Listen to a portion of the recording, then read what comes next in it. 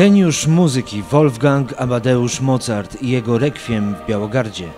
10 marca w kościele pod wezwaniem Narodzenia Najświętszej Marii Panny odbył się wielki koncert w wykonaniu chóru Uniwersytetu Medycznego imienia Karola Marcinkowskiego w Poznaniu w ramach 10 pomorskiego turne zespołu. Chórzystom z Poznania towarzyszyła Orkiestra Symfoniczna Filharmonii Koszalińskiej. Dziesiąty raz jesteśmy i to bez przerwy co roku albo w okresie bożonarodzeniowym z kolendami i utworami sylwestrowymi, albo ostatnio z utworami pasyjnymi. I te 10 lat oznacza, że no, jesteśmy dobrze przyjmowani tutaj przez publiczność. Na wszystkich koncertach kościół jest zawsze wypełniony po brzegi. Dla moich chórzystów to też wielka przyjemność i atrakcja wystąpić właśnie tutaj, ponieważ po to ćwiczymy mozolnie dwa razy w tygodniu, żeby potem śpiewać właśnie dla publiczności i sprawić jej tym przyjemność i sobie, i sobie również.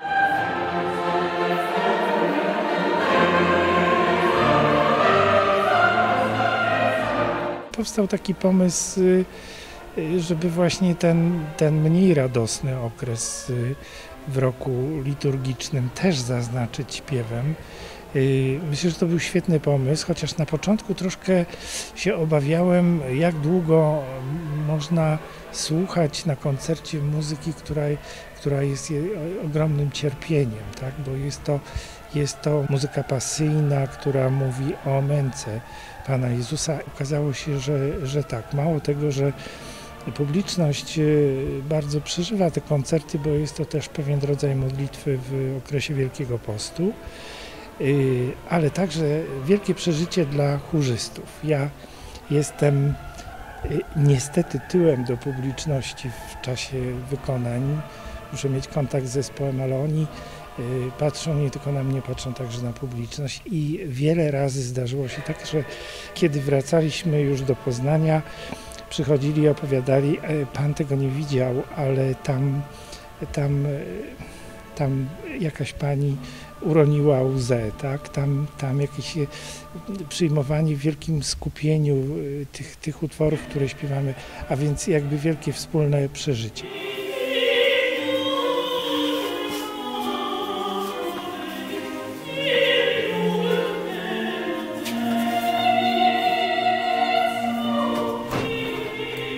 Dotknęliśmy też już samego Mozarta, to geniusz geniuszów. To jest dzieło, do którego wszyscy podchodzimy i wykonawcy i słuchacze z wielką pokorą. Przepięknie napisany utwór, który musiał być jakimś natchnieniem z samej góry dla kompozytora.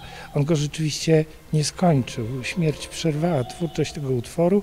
Skończyli to jego, jego uczniowie, ale ten główny zarys był, był oczywiście pomysłem, pomysłem samego, samego Mozarta.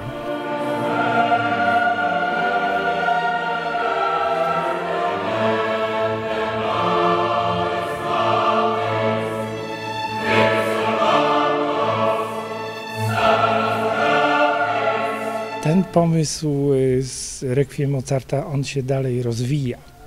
To jest dużo, dużo pracy włożyliśmy w to. I cieszę się bardzo, że tutaj na Pomorzu są trzy koncerty. Tak? Jeden jest w Białogardzie, jeden jest w Koszalinie i jeden jest w Darłowie, czyli możemy zaprezentować to dzieło szerzej niż tylko raz. No i też robimy teraz takie zabiegi, bo to jest kwestia również pracy orkiestry.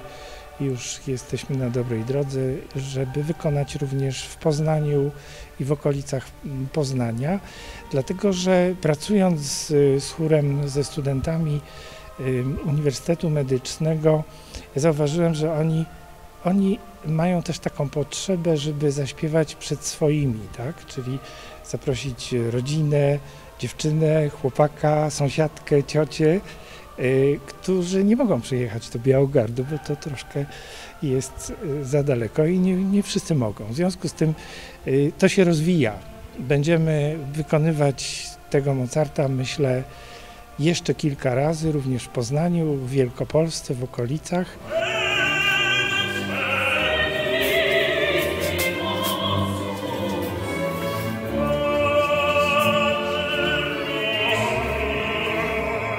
Obserwując tych młodych ludzi, studentów, którzy podjęli niezwykle trudne studia i niezwykle trudny zawód, który którym właściwie nie wolno się pomylić, tak? bo zawsze chodzi o, o zdrowie czy, czy życie człowieka. Ludzi, którzy jednocześnie potrafią poświęcić swój czas prywatny, aby y, spełnić się y, również artystycznie, też w bardzo niełatwy sposób, tak? bo przygotowanie takiego dzieła, wykonanie takiego dzieła wymaga umiejętności profesjonalnych. To, jest, to już wykracza poza, poza y, amatorskie wykonanie. No i tutaj taki właśnie całe życie mój podziw, że potrafią połączyć tę niezwykle trudną naukę Y, również właśnie z pracą artystyczną na bardzo wysokim poziomie, co przynosi satysfakcję i mnie, im, no i myślę, że publiczności.